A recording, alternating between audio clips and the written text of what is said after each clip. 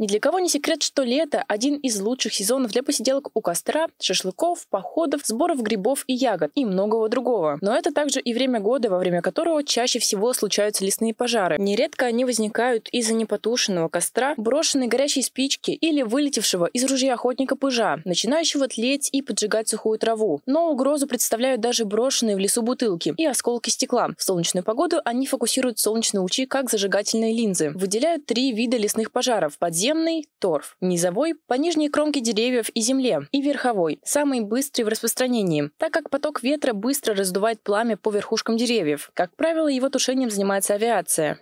Ущерб, который наносится, он огромный, потому что гибнет не просто лес, а гибнет не просто деревья, древесина, гибнет экосистема, лесная экосистема. Гибнут животные, которые там оказываются и просто не могут. Ну, кто-то может выскочить из системы пожара, а многие так, бывают окружены кольцом, и они просто никуда не могут деваться. Вот когда бушевали пожары в Австралии вот, э, два года назад, весь мир обошла картина, когда стоит пожарник, а рядом, прижавшись к его ноге, стоит маленькая кала, а кругом вообще пожар, то есть кругом все полыхает. И она не знает, куда деваться. Она дикое животное, но прижалась к ноге пожарника, потому что это единственная возможность. Вот эти ситуации, они на самом деле невероятно страшные, потому что гибнут не просто леса, гибнут экосистемы.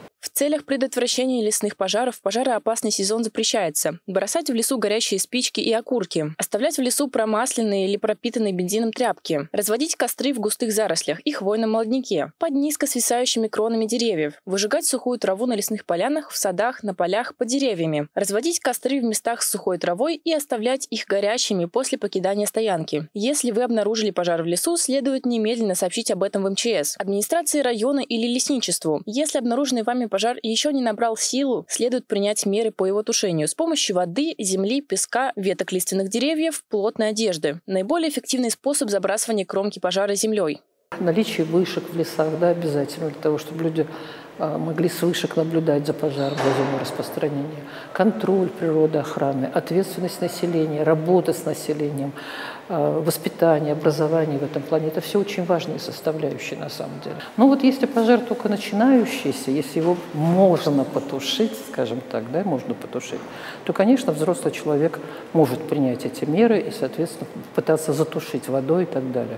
Но если пожар уже идет и набирает скорость, а, то надо, конечно, немедленно просто сообщать о нем. То есть, скажем, уходить и сообщать, сообщать об этом, выводить жителей из район, районов и поселков, если это скажем так, управ... люди, принимающие решения, управ... или просто ответственные жители, которые просто должны вывести людей, вывести скотину. В начале июля в Казани уже вспыхнул пожар у Лебяжьих озер. Горела трава. Площадь распространения огня достигла 500 квадратных метров. Спасатели боролись с пожаром на протяжении 8 часов. К счастью, он был ликвидирован без пострадавших. У нас горел лес в лесопарке Лебяжье.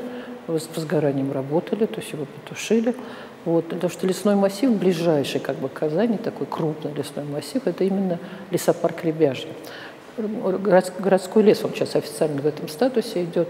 Там есть посадки искусственные, там есть и естественная э, территория. И поэтому достаточно высокое разнообразие ландшафтов. И э, возгорание здесь, оно, конечно, скажется сразу на степени озеленения города Казани, потому что это городская территория. Лесопарк Лебяжье играет большую большой процент в степени озеленения Кировского района. То есть он поэтому дает 33% за счет лесопарка Лебяжа в первую очередь. Каждое лето лесные пожары начинаются с неизбежностью, приводящей в отчаяние. К этому нельзя привыкнуть, но можно постараться предотвратить. Соблюдение мер безопасности и правил поведения в лесу поможет в этом нелегком, но важном деле. Давайте вместе сбережем природу для себя и будущих поколений. Кристина Отекина, Тимур Ахметов, Универновости.